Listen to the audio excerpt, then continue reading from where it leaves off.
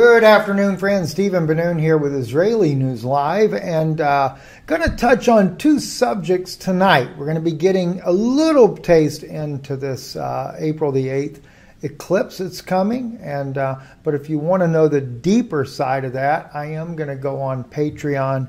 Uh, share in more in depth about uh, this eclipse on uh, April the 8th, 2024. At first, I was going to kind of steer clear from this subject a little bit uh, but the more and more I see things that are being said, the more I realize that uh, there there are. In fact, tonight we're going to kind of hit a bit more on the biblical aspect on Patreon. I'm going to go deeper from different angles on it. I'll be doing that tomorrow.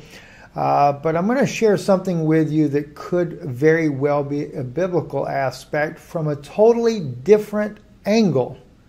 Maybe something nobody's even thought about before uh, especially in light of this one conference I know that's going on, a little event uh, that I saw that took place in this conference. I'll share with you as well, and it has a lot to do with the biblical side of that.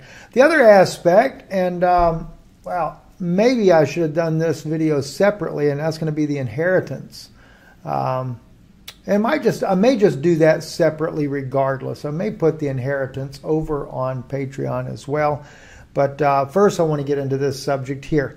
We know April the 8th, 2024, total eclipse going across the nation. They talk about comes across Mexico, across Texas, uh, up and all the way out, coming out all the way up there uh, in uh, above New York area there, the very top end of the United States because this, there are several cities of Nineveh that crosses, and by the way, it's not actually, I've heard some people say seven, it's not really seven cities named Nineveh, but nonetheless, it does catch your eye biblically because Nineveh did repent. Israel did not, because Jesus even uses Nineveh, uh, Jonah, as part of that when he says, you know, that the men of uh, Nineveh would rise up and uh, in that generation and condemn Israel because they did repent at the preaching of Jonah, whereas Israel did not. And what I am finding even today is that the men of the United States, the evangelical, the pro Zionists, that are actually supporting the very, the very country that Jesus brought and indicted. He indicted Israel for the deaths all the way from the time of Abel all the way down to his time. He indicted that generation for all those crimes against humanity, uh, and even they finally killed the very Son of God. But he did say that the men of Nineveh would rise up in the judgment and they would condemn that generation. But nowadays we have another generation, and it mainly spurred here from the United States through a Darby Scofield doctrine that has blinded many evangelical teachers into believing scriptures were fulfilled or that have not been fulfilled that were fulfilled. And I want to kind of just share some insights with you. By the way, too, CERN. There are some people saying CERN will fire up on April the 8th. Uh, USA Today uh, kind of debunked that claim. It actually fired up in March, not in April. It's already going right now. Although I do disagree with the USA Today article and it says it cannot open a portal. Oh, yes, it does open a portal. We know that from the different uh, insights that I've gotten from other scientists around the world that yes, they've opened up as many as uh, seven dimensions already. So that may be considered more of a classified subject, but uh, that part we do know is true. And yeah, it, maybe it could, have, maybe it is going to have some interesting impacts along the way. Not only that, but the different, uh, uh, you know, the, the sun and the things that are happening on the sun, uh, the different uh, ejections that are happening, coming and hitting our magnetosphere, weakening the magnetosphere the Hadron Collider, not just one, we have multiple Hadron Colliders, right? Those things all going off at the same time. The eclipse itself, though, could actually just be more as a sign, a sign of the time. But the question would be is what sign would it be? Well, I actually was taking a look more at Matthew 24 and taking you into the Hebrew Matthew here. We'll blow it up a little bit bigger. I want to make sure that everybody can see this very clearly as we go through this. Uh, and let's back up because this is what's very important is what happens before this, right? Except those days were few. No flesh would be saved, but for the sake of the chosen, those days will be few. Um, at that time, if one should say to you, Behold, the Messiah is here or there, do not believe it. You know, that's an interesting concept. At one time, I thought maybe that's just they're going to try to say, oh, Jesus was buried over here. Uh, we actually found his body through archaeological digs. And he said, no, that's not the case.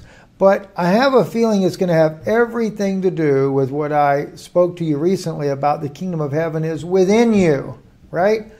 And of course, I'm going into the inheritance. That's something my wife inspired uh, about 3 o'clock the, uh, last night or morning or 3 o'clock this morning when she was awake talking to me about uh, inheritance. And as uh, we were talking about the inheritance, uh, we're talking about biblical inheritance, that is. It dawned on me, you know, something maybe many of you already know, and that is that we have inherited everything that the Father has given to us, Jesus Christ. When He both died, buried, and resurrected, we had inherited everything. Everything He is is our inheritance right? So the question could be Behold, the Messiah is here or there. Do not believe it. Remember the scripture I shared with you the other day? The kingdom of God does not come with observation, but it's actually in you. And I think that may be more about it. Because false messiahs, watch this, because false messiahs and false prophets will arise Wow, that's interesting. Because he does say, Behold, the Messiah is here. And he's saying to you, because false messiahs and false prophets will arise, and they will give signs and great wonders that if it can be, they will come to lead the chosen astray. So they are going to bring out a mockery. They're going to bring out a false Messiah. There's going to be more than one, Jesus says, and more than one false prophet. There's going to be multiple ones. Then if they should say to you, Behold, he is in the wilderness, do not go out. Behold, he is in the chambers, do not believe it. Behold, I told you before it happens. Again, Jesus said to his disciples, As the lightning comes from the east and is seen in the west, so will the coming of the Son of Man be. And don't forget, it's false prophets as well. And boy, do we never have a we have a world full of false prophets. Wherever the body is, there will be gathered the vultures. Hmm. So, in other words, if they do uh, tr- to try to produce a false Messiah, it's just a bunch of vultures there. They like to eat on dead things anyway, and we serve a risen Jesus Christ. Not a dead Christ, but a risen Christ. At that time, after the tribulation of those days, the sun will grow dark. Notice that. The moon will not give forth her light. The stars will fall from heaven, and the host of heaven will be shaken. Now, that is of an interest. If you notice, he said, at that time, after the tribulation of those days, the sun will grow dark, the moon will not give forth its light. That's very similar to that of an eclipse. Because if the sun will grow dark. When, how does the sun actually grow dark? Well, the moon gets in the way. And as that moon begins to cover over the sun, it grows in darkness because as the moon crosses over, it grows dark. The moon can't give forth its light because why? The sun's on the back side of it, so therefore the moon doesn't give light. It's not reflecting light. Now it's blocking light. But then it says, the stars will fall from heaven, and the host of heaven will be shaken. Could that be? Could it be meteorites? Could it be fallen angels coming to earth? Could it be something like that? And keep in mind when we look at those events, that doesn't mean that it happens the same day that an eclipse were to happen. And quite frankly, have we seen the fulfillment of the part above this eclipse? Not necessarily. There's been all kinds of false Christ, I will agree with that, because the word Christ means anointed ones. There's been a lot of people claim to be anointed. Not that they claim to be the Messiah, but they claim to be anointed. There's many of them that claim to be prophets that are false prophets. Even like recently in a meeting somewhere out in Texas, there was yet another person standing there declaring barefooted that they were barefooted because they had shalom for you.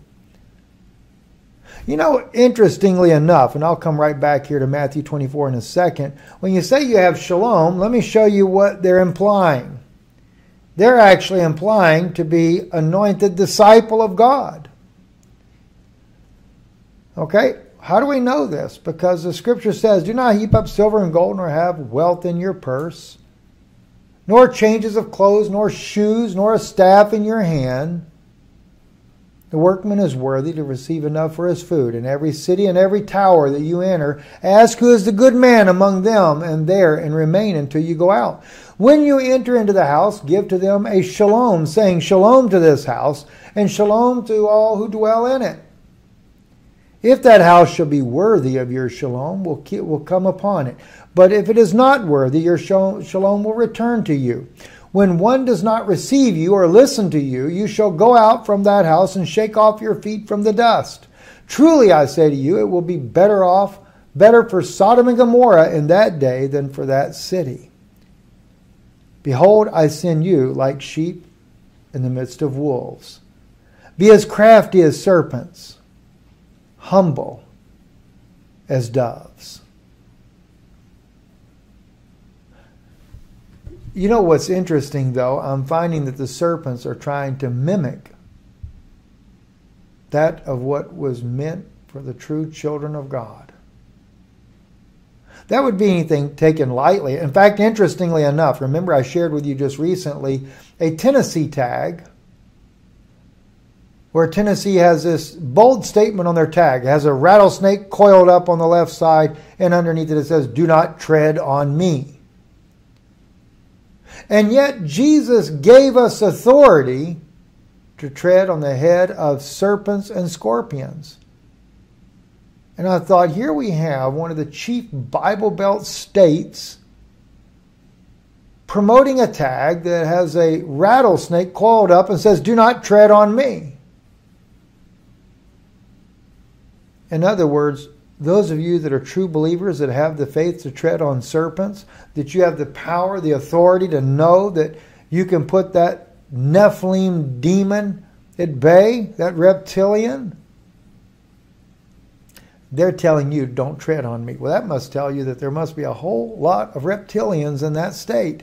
Then I come to find out Florida also now has that same type of tag with a rattlesnake and a caption underneath it do not tread on me. That's becoming an epidemic, if you ask me. Anyway, so going back over here to what we were looking at, then will appear the sign of the Son of Man in the heaven, and the families of the earth will weep and will see the Son of Man on the clouds of heaven with a great host of a dreadful appearance. He will send his angels, the trumpet, with a great shout to gather his chosen from the four winds and from the end of heaven unto the other. From, from the fig tree, learn the parable. When you see its branches and leaves sprouting, know that he is near and to the gates. So, April the 8th, it seems to me just to be more another eclipse. But could it be more significant as a sign that we are like Nineveh? Nineveh at least repented.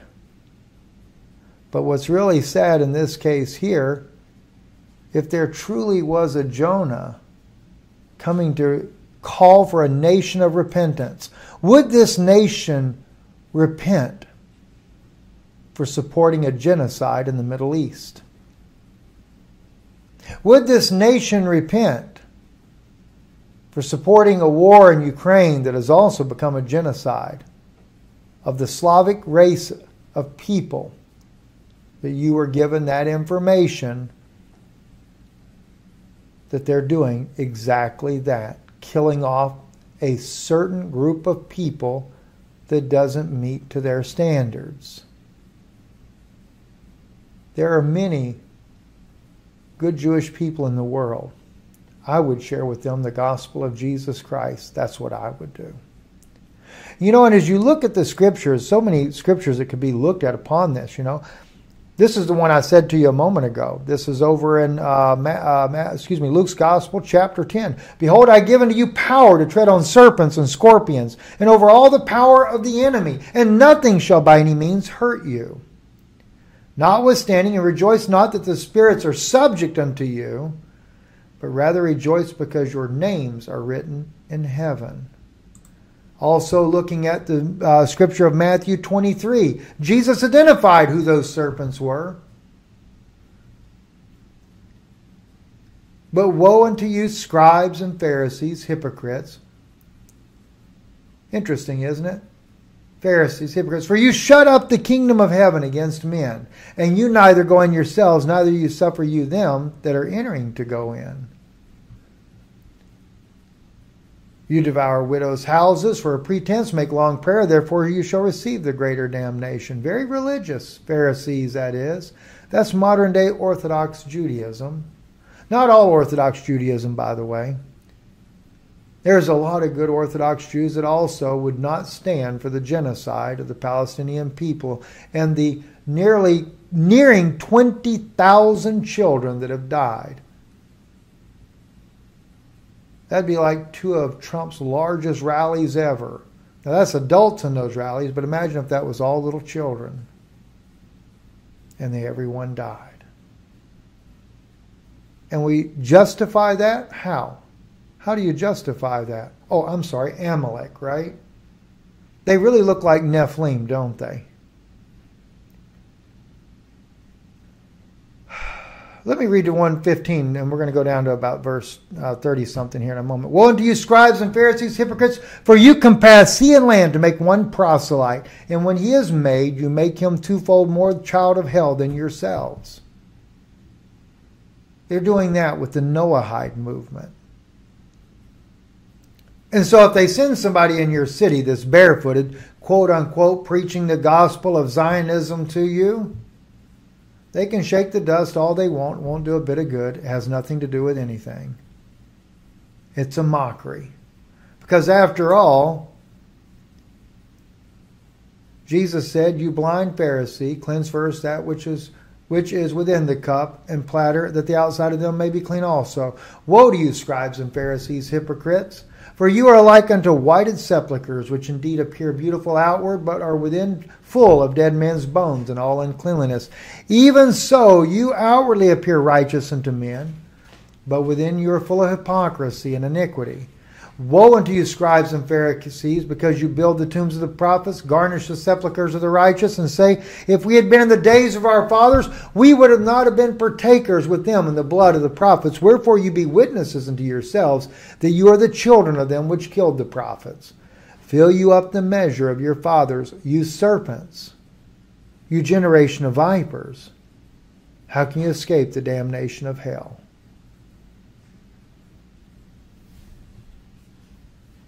Now, this is where he indicted them too. Wherefore, behold, I send to you prophets and wise men and scribes. Some of them shall you kill and crucify. Some of them shall you scourge in your synagogues and persecute them from city to city, that upon you may come all the righteous bloodshed upon the earth, from the blood of righteous Abel unto the blood of Zacharias son of Barachias, whom you slew between the temple and the altar. Verily I say to you, all these things shall come upon this generation. So, how are you going to answer it then? Hmm. I'll save this part here about the kingdom for a, for a separate message. It really doesn't go together here. I wanted to share those insights with you, though, mainly because of looking at this eclipse. And, um, you know, I have a feeling most of, for the most part, things will come and go and it won't be a lot different. But in time, if it is, if it happens to be anything to do with Matthew 24, if it is the eclipse that Jesus spoke about in Matthew, somewhere along the way, we can anticipate some very evil entities coming down. We certainly already see the false prophets and the false messiahs on every angle and every corner bringing the false gospel. to the people. They are truly wolves among the sheep. And the odd thing is, as much as Jesus said the things that he said about what he was dealing with in his day with the orthodoxy, you would think that Christians would be more interested in trying to help the Orthodox community to recognize what Jesus said in the first place rather than sucking up and promoting the very system that still condemns Jesus Christ and would have a Noahide law that if you dare declare him to be the Son of God, which would be considered blasphemy, as Pilate declared. Not Pilate, but Caiaphas, excuse me. You would be put to death according to Noahide laws, according to the Talmudic version of Noahide laws. So think about it. And no, they don't do it themselves. Just like with Jesus, the Jewish people never killed Jesus. I'll agree with that. They did condemn him to death. But they had the Romans carry out the dirty work. Just like the Noahide Freemason, 21st degree Mason, is going to carry out the death sentence in this day and age. I'm Stephen Ben-Nun. You're watching Israeli News Live. If you feel on your heart to stand for what is really true, support the work we do. This here, our website, IsraeliNewsLive.org. Who was behind the attack? We shared a very interesting video there with you. Uh, and also over on iConnectFX.com. That's one place, by the way, if you ever want to be able to have freedom of speech, that's a good place to go and set up an account there. You can set up for free. They got all kinds of things in there. It's really grown into a massive platform there, including even your own shopping store. You could have amazing amount of things that could be done over at iConnect. But uh, just to share that insight with you, we appreciate the work that they've done there. But if you'd like to support the work we do, you can do it several ways. One, right here by mail, donate Institute, Ben-Nun Institute, P.O. Box 156, Sunbright, Tennessee 37872. It's also in the top of the video above my head at the entire time. Uh, or you can click right there and donate online, or even if you are on iConnectFX.com. If you happen to be on iConnect, then you can also uh, you can donate right there on any of the videos that we might have up. In fact, this one right here, a good example. Uh, I will tell you one thing that's interesting about iConnect too that I'll, I'll share with you. You can donate right up under that video there, as you can see there. Um, let me let me just sign in. One thing I'm going to quickly show you that I've always found fascinating about this site. Um, that may not let me do it this time around here because I don't. Here we go iConnect has a real-time counter. Um, and it takes normally a day or so before you actually get to see the real views of your video. But that's one of the things I really like about this channel as well. Besides the multiple languages there, you take this video here. The 4,000 views is what they're saying, YouTube is saying that we actually received because we are embedded in our YouTube channel as well, right? But if I want to know what my views really are, I come over here and I click on that little view right there, that little viewfinder for the country. It pops up. It tells me all the countries in the world, where we're being viewed at, which country. You can just hover over it. Kenya, we had one person in Kenya watch it.